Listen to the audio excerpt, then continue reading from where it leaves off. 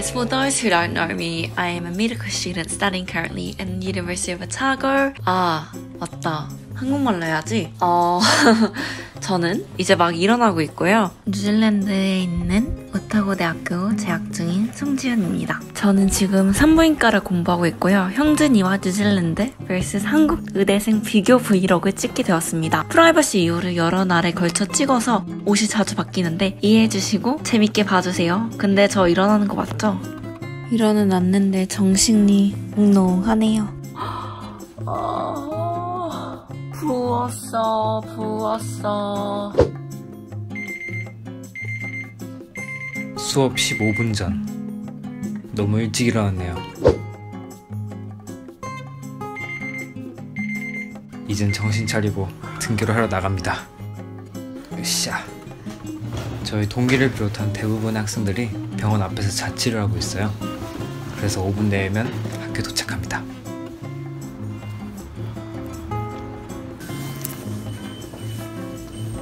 간단하게 먹을 아침을 사러 왔습니다. 삼각김밥은 몸에 안 좋으니까 샌드위치를 먹어볼까요? 몸에 좋은 두유도 챙기고 갑시다. 한국에서는 수능처럼 선배들 국시 합격을 위해 원정 응원을 떠나기도 해요. 일어나자마자 아침을 먹습니다. 보통 그냥 집히는 거 먹는데 요즘은 날씨가 따뜻해져서 라떼랑 overnight 오트밀을 자주 먹어요. Greek 요거트를 먼저 넣고 그 다음에 아주 값싼 오트밀을 털어냅니다. 어, 이건 조금 사치긴 한데 블루베리까지 추가하면 진짜 맛있어요.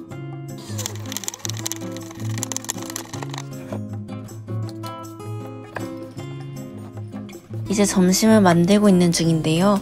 이 정도는 만드는 게 아니라 그냥 도시락통 한 곳에 모아놓기죠. 간편해서 자주 해먹는데 진짜 맛있어요.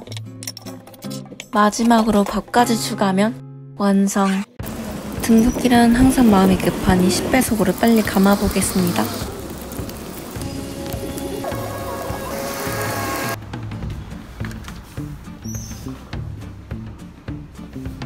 두둥 본과 2학년 강의실 입장.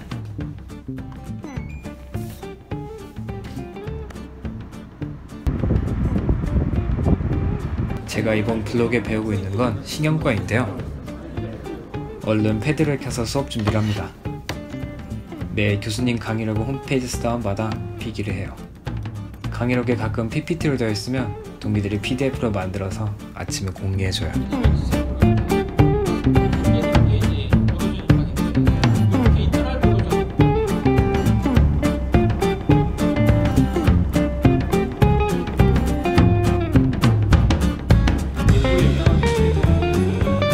주로 이렇게 9 to 6 하루 종일 책상에만 앉아서 주구장창 수업을 듣습니다.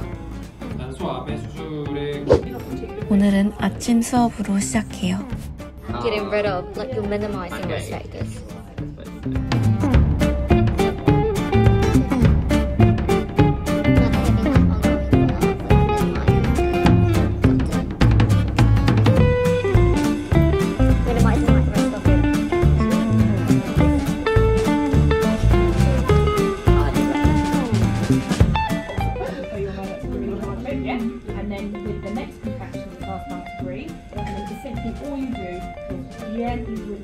쉴때 운이 좋으면 열정적인 교수님이나 예지쌤을 만나서 그 분들께 공격적으로 질문을 당하곤 합니다.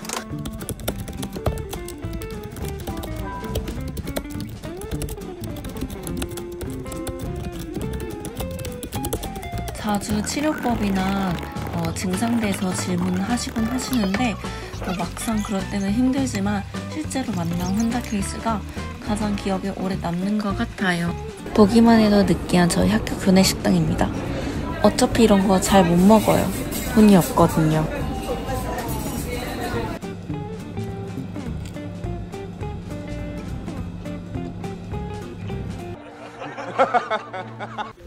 후, 드디어 9교시 수업이 끝났네요.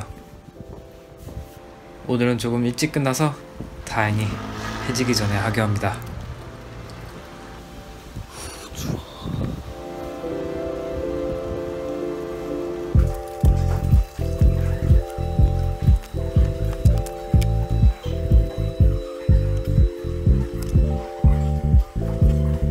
여기가 저희 강의실인데요. 거의 매주마다 발표가 있어요. 환자 케이스를 받으면 그 환자의 증상, 검사, 그리고 치료법을 보고 직접 임상 간호사 선생님들이나 교수님들을 만나서 왜 환자가 했던 검사들이 필요했는지, 꼭 이 검사가 필요한지, 아니면 다른 더 쉽고 안전한 검사들이나 치료법이 있는지, 그리고 그 방법이 적절했는지, 병원마다 또는 나라마다 다를 수 있기 때문에 논문, 임상 데이터 등을 보고 모아서 같이 발표를 해야 해요. I'm doing the microbiology. So, um, I can do the thi- 5G part. Yeah, sure. Um, yeah, sure. That's fine.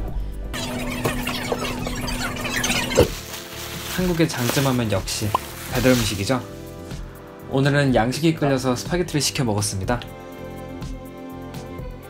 저는 마그네슘과 유산균을 영양제로 챙겨 먹어요. 저희 교수님은 비타민 C를 mega dose로 먹는다고 하시는데 전 아직 못 해봤어요.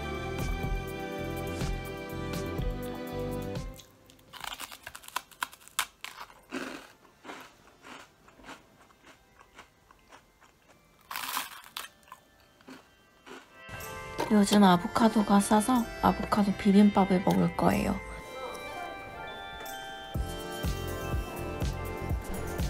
저는 요즘 많이 앉아 있다 보니 허리가 아파서 요가를 시작했습니다.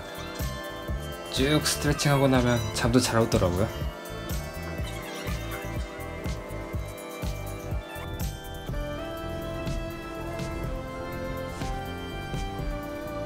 짜잔! 정말 고생하면서 만든 연습실입니다. 뿌듯하네요.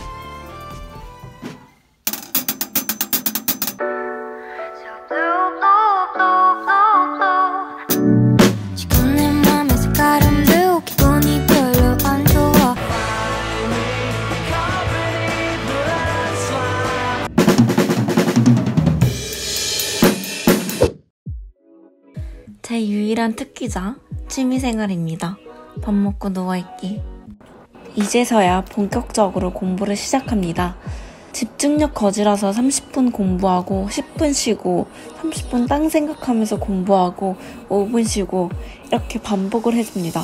저는 빨리 질리는 스타일이기 때문에 과목을 계속 번갈아가면서 공부를 해줘야 돼요. 그래서 한 시간은 이거 공부했다가 또 한 시간은 저거 공부하고 이렇게 해주면 그나마 덜 지루하게 공부를 할 수 있는 것 같아요. 그리고 저 혼자 막 중얼중얼거리면서 얘기를 하기 때문에 남이 없는 시간에 공부를 해야지 그나마 공부가 조금 더 잘 되는 것 같아요. 그래도 가장 공부를 잘할 수 있는 방법은 시험 전날에 공부하는 것밖에 없는 것 같아요. 네, 이렇게 사서 고생하는 평범한 한국 의대생의 하루는 끝이 났습니다. 재밌게 보셨나요? 다음 영상으로 하면 좋을 콘텐츠 댓글로 많이 추천 부탁드려요.